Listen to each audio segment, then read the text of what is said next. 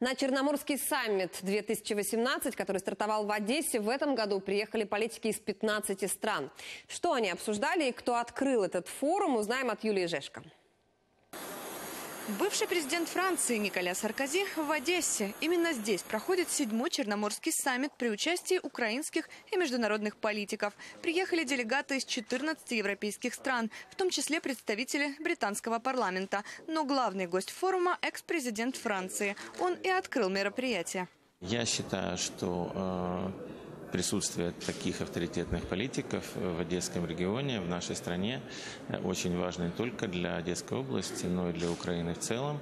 Адекватное мнение о том, что происходит внутри нашей страны. Цель международного саммита – поделиться опытом, как более интенсивно развивать экономическое сотрудничество между странами и наладить эффективную коммуникацию. Европейские политики уверены, Украине и, в частности, Одесскому региону необходимо привлекать инвесторов обсуждали самые разные темы.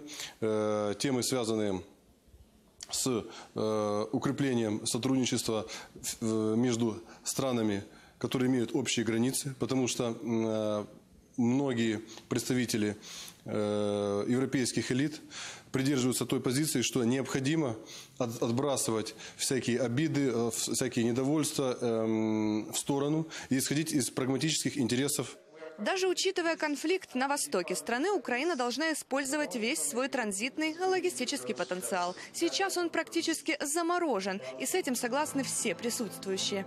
Черноморский регион всегда был полем геополитических баталий очень многих стран.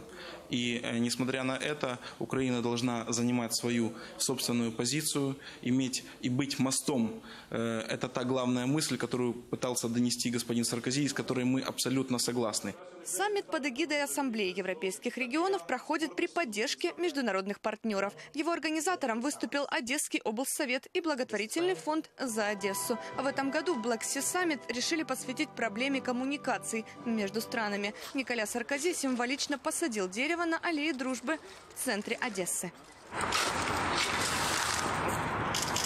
Подобные мероприятия созданы не только для политиков, говорит народный депутат Николай Скорик. Это путь к развитию украинского общества в целом мнение, видение нашей страны э, со стороны европейских, авторитетных европейских политиков, э, перспективы Украины, текущая ситуация в Украине, я считаю, очень важна, очень нужна э, для Украины, очень будет полезна для, и для украинского политика, и для украинской общественности в целом.